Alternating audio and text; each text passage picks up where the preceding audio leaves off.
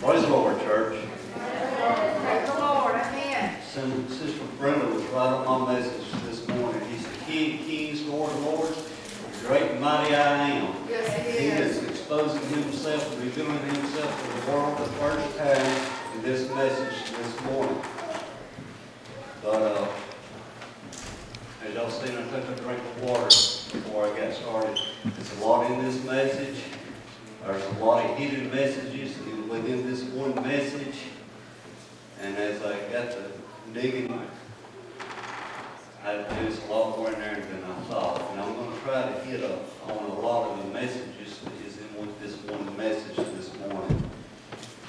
But, uh, it'll be coming out of the first chapter of John, uh, second chapter of John, starting at the first verse, we read to the tenth verse. And the third day, there was a marriage in Cana of Galilee. And the mother of Jesus was there. And both Jesus was called and his disciples to the marriage. And when they wanted wine, the mother of Jesus said unto him, They have no wine. Jesus saith unto her, Woman, what have I to do with thee? Mine hour come. His mother saith unto the servants, Whatsoever he saith unto you, do it. And there were set there six water pots of stone, after the manner of the purifying of the Jews, containing two or three firkins apiece. Jesus saith unto them, Fill the water pots with water. And they filled them up to the brim. And he saith unto them, Draw out now, and bear unto the governor of the feast, and they bare it. When the ruler of the feast had tasted the water that was made wine, and knew not whence it was, but the servants which drew the water knew. The governor of the feast called the bridegroom, and said unto him, Every man at the beginning does set forth good wine. But when men have well drunk, then the which is worse. But thou hast kept the good wine until now. Now the third day. Just that right there tells us there's a lot more in this than meets the eye. When you see a chapter starting out this way, pay attention. There, there's a lot to it. We, we learned this in Rever- Revelations. Now, There's a lot of ministers who tell you there's nothing sub no meaning behind the number three in the Bible. We, we see the number three and the factors of the number three all the way through the Bible, Old and New Testament. And a lot of ministers will tell you that there's nothing of significance, importance of this first miracle of Jesus. That it was, it didn't save nobody, it didn't heal nobody, it didn't resurrect nobody, that he was just doing it for practice. Jesus didn't have to practice anything. He knew who he was. He knew if he said for it to be done, it was done. He didn't have to practice nothing. And for them to say this, they was reading in the carnal and stuff, in the spirit, because there's great importance here. For one, he was exposing himself as God. Or in um, John the first chapter, first verse. In the beginning was the Word, the Word was with God, and the Word was God. And then I think it's about the third verse, it says that nothing was made without Him. But Jesus was the Word that became flesh. And we see here that He's going to make wine out of nothing except water. He didn't have no grapes. He didn't smash no grapes. He made this wine out of water because He's the true vine. Now let's find out. So I, I argue with these ministers and said there's nothing with these two things. Now the third day, I'm like, okay, God, what are you telling me? What is so significant about this third day? But I knew it was something. So let's look at the factors of three throughout the Bible. And I'll let you make up your own mind where you think the three means anything or not. First of all, we have the Holy Trinity Godhead, Father, Son, Holy Ghost. Then we have Satan, which is all through the Bible because he's our enemy. But he's got a copy of everything God's got. So he's got the false Trinity, Satan as the Father, the Antichrist as the Son, the false prophet as the Spirit. So there's another three. Then in Revelations, when God is going to pour down his wrath on all mankind in the world for denying Jesus, we have the work of the beast, 666.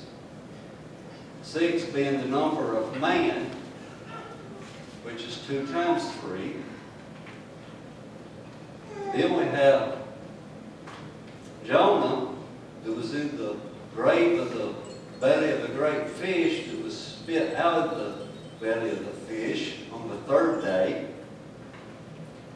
Now let's walk into the New Testament.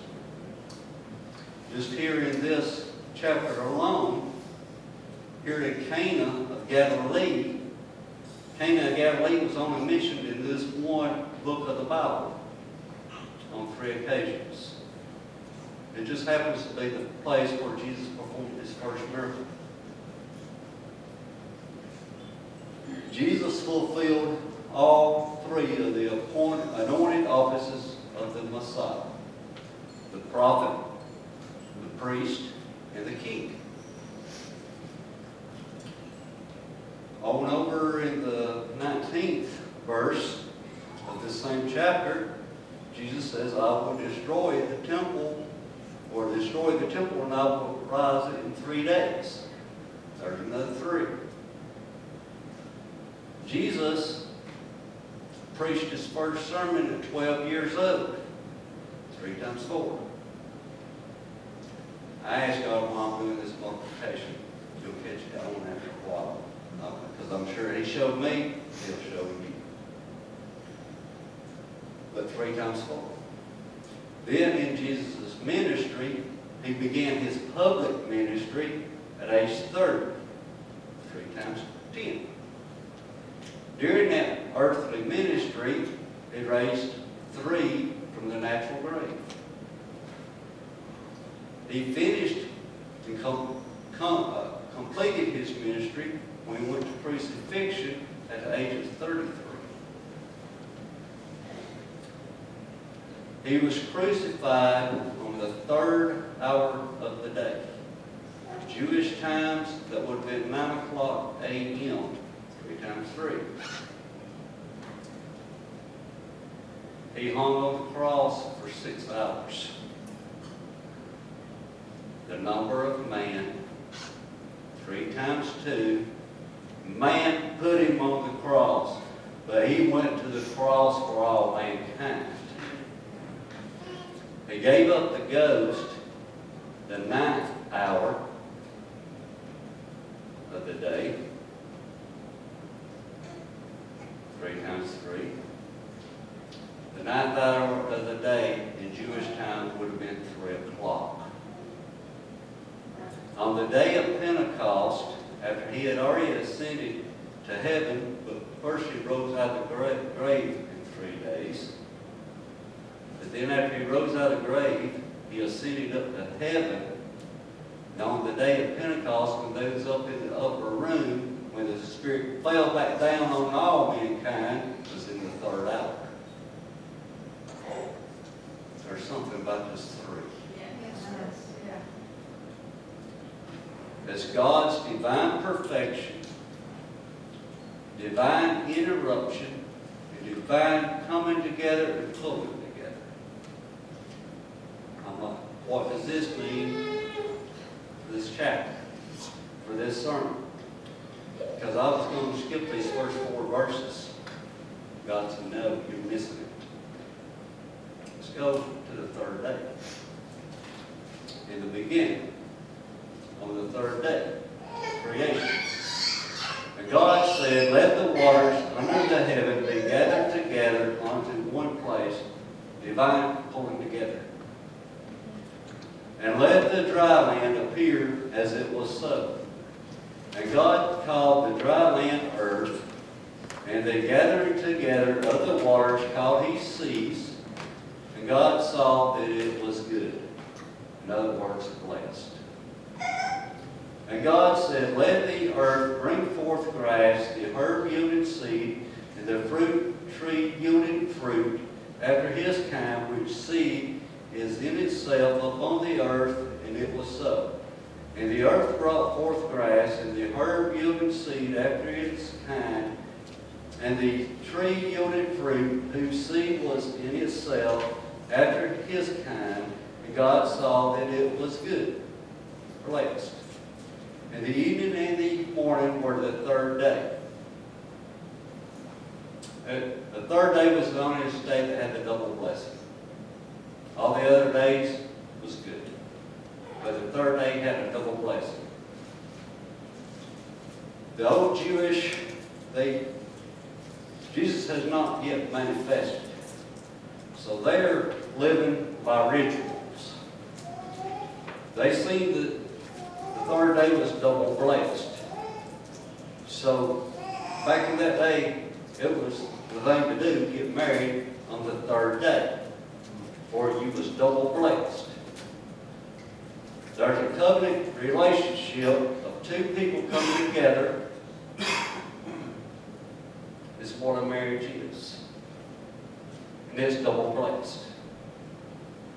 But in order for a marriage to be blessed, in order for your marriage to survive, in order for your marriage to be the best it can be, it takes three. Not two, not four and more, but three. The spouse, you and your spouse and God right in the center of your marriage is the only way it's going to be blessed. Amen. Now, mother of Jesus was there. Jesus, his disciples, was there. If we went on into the 12th verse, we'd have seen where Jesus was leaving with his mother and his brethren. His brothers was there. We see where Mary was having a pretty good bit to do with this wedding because she knew they ran out of wine. And he, they, this ain't something they just going to tell anybody because this is a big ceremony. I mean, they're big now, but back then they, they would have lasted a week. This was grand.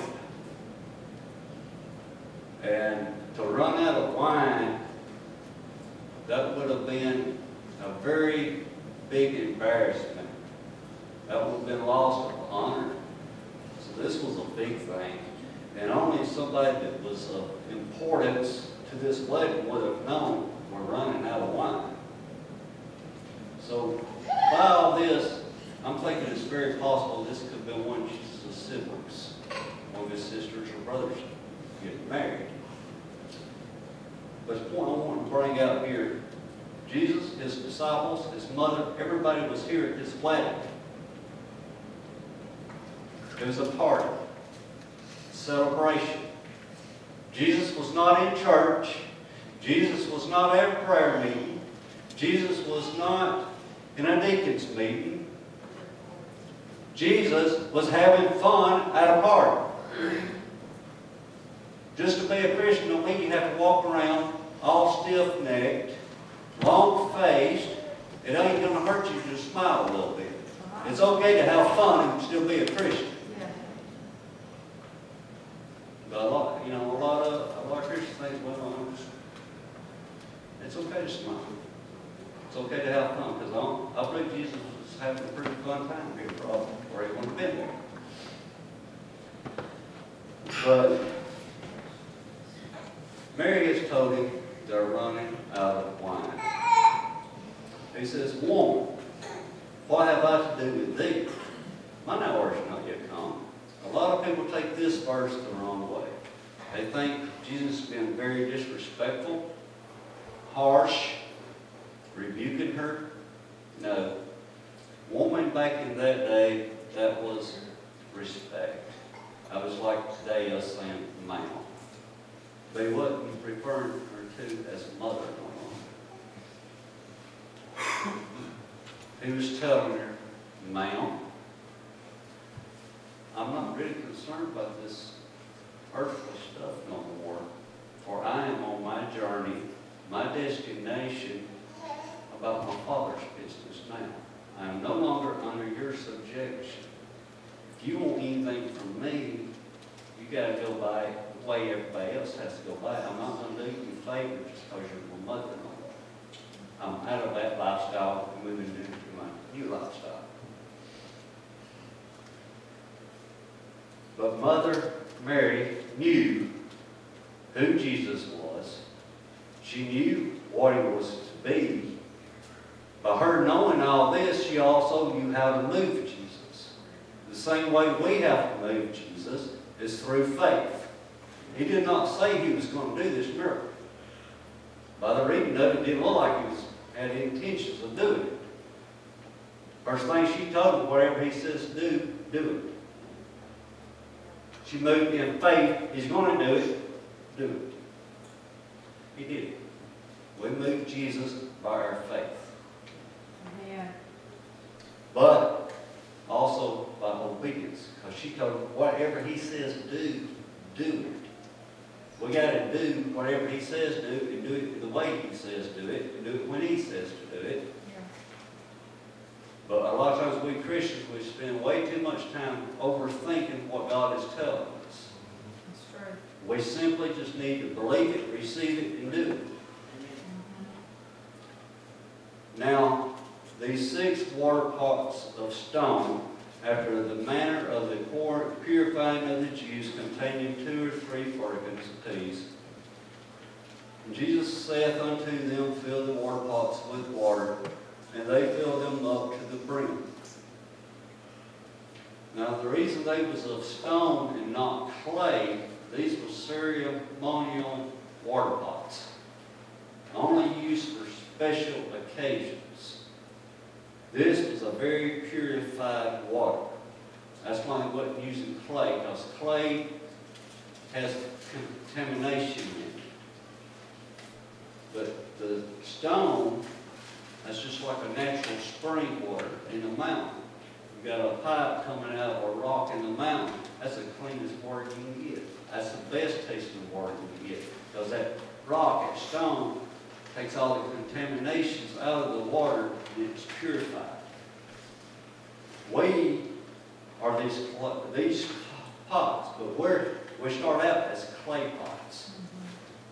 But when we start dipping into the living water, Jesus Christ, He starts moving in us, we become these stone water pots. Because he, when we go to the rock, he's purifying us with this living water. And he saith unto them, Draw out now, and bear unto the governor of the feast, and they bare it. When the ruler of the feast had tasted the water, and it was made wine. This was breaking a big law. Jesus came to break the laws of rituals, of traditions, of the old covenant. He did not come to destroy the old law, but he came to fulfill the law. On crucifixion, now the old law was water baptism was as far as it went. That's all they had. But he came to fulfill the law. It's not only through purification, but we also have to take on the blood of Jesus Christ. He was the perfect harmony between the old law, the new old covenant, the new covenant. When they pierced his side, both water and blood came out. That shows he was in the perfect harmony of the two laws.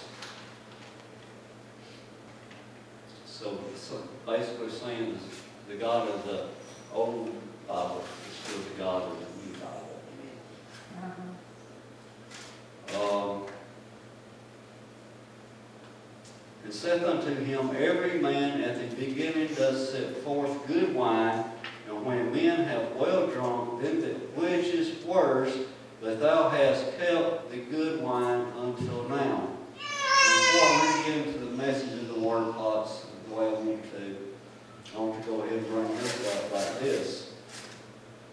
The first part of this verse I just read, ain't this way Satan does? He brings out the good. He shows us the glamorous to get us tempted. When you start moving in it, he, he's not showing us how it's destroying us and how it's taking life from us. Amen. The good is always at the first. Yeah. All we gotta do is turn back to the living waters, and Jesus can come back in there and fix all that and make us even better than what we was at first. Amen. The last is the best. But we need to stay to our. Jesus told them, fill the water pots. He fills us with the living water. For Jesus is the living water.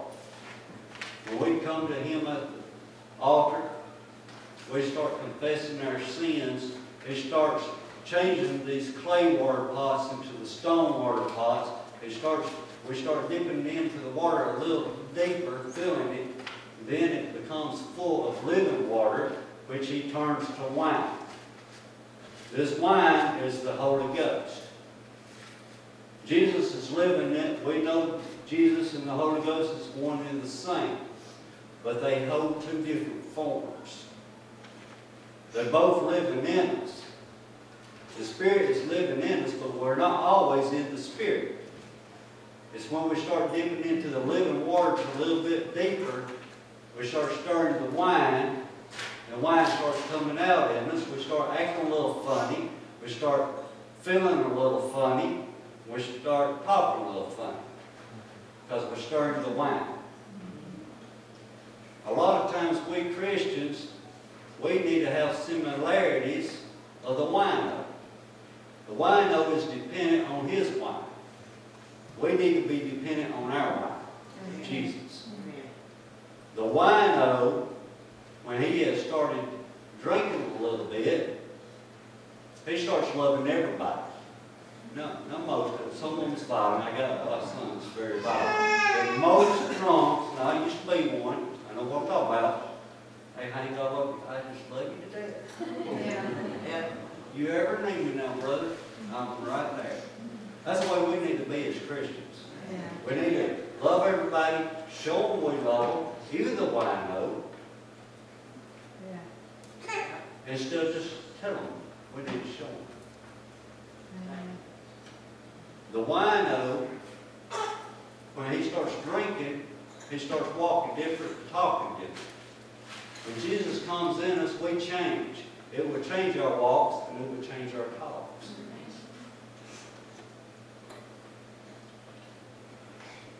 Now, how do we keep our water pots full of the living water and keep the wine stirred? First of all, is through obedience. God tells you to do something, just do it. That's the first step, is obedience. The second, power of our tongues. For on the day of Pentecost, there were fiery cloven tongues. We look at this as speaking in tongues. Our tongues have power to unlock the heavens through our praise. Jesus, on, when he was feeding the multitude of 5,000 plus women and children, with five loaves and two fish, he didn't request nothing. He just started giving thanks. Thank you, Father, for being with me. Thank you, Father, for I know I have sufferings ahead, but I know you will be with me and it is your will. Thank you. And then all of a sudden the heavens fell down. Not only did he have enough to fill his 12 disciples, but all these others got filled as well with women and children, five thousand, you, probably twelve, thirteen thousand people at least. All them got full, and then there's twelve baskets left over. Jesus, God, loves leftovers. He wants us to go to overflow. For then we don't have just enough to sustain us, but we got enough to go out here to the unchurched and share Jesus with them as well. Amen. We got enough in us when we see a fellow Christian starting to lose some of their wine, we can help uplift them and get them back to overflowing as well. He likes us to have leftovers, that way we can share it. Um, But through our praises, that unlocks miracles. That, that moves God. It unlocks the power. And then through our prayers. James, I think it's James uh, five and sixteen, I believe it is. But the fervent, the effectual fervent prayer of a righteous man availeth much. Basically what that's telling, a faithful, heartfelt, heart crying out, passionate, obedient prayer has great powers. This is how we stay to overflowing and running over and keeping our minds stirred. And this day and time we're living in, we need to keep it stirred up as we, there's a lot of back here needs our help. I hope y'all got some. Amen.